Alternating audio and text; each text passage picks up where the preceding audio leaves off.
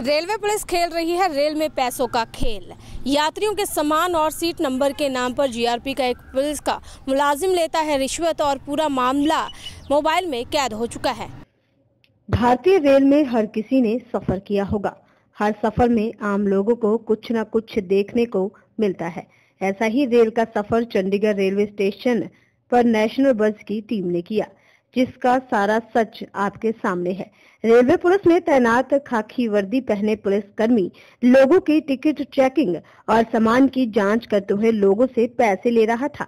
उसे इस बात का भी डर नहीं था कि उसकी वीडियो बन रही है, लेकिन जीआरपी पुलिस कर्मी पैसे वसूल कर रहा है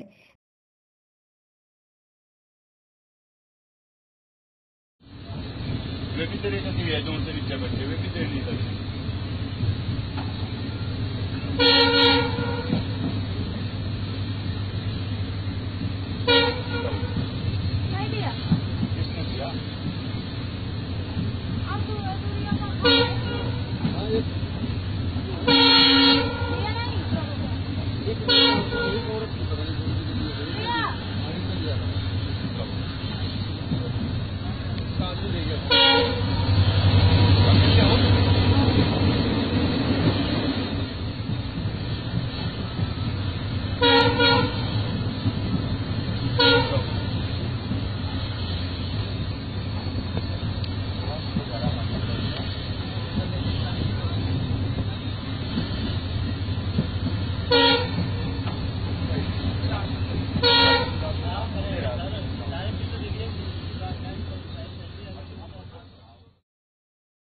बहरहाल ये वीडियो जीआरपी के आला अधिकारियों के पास पहुँच चुकी है और अधिकारियों का कहना है कि उनकी तरफ़ से इस मामले की जाँच की जा रही है।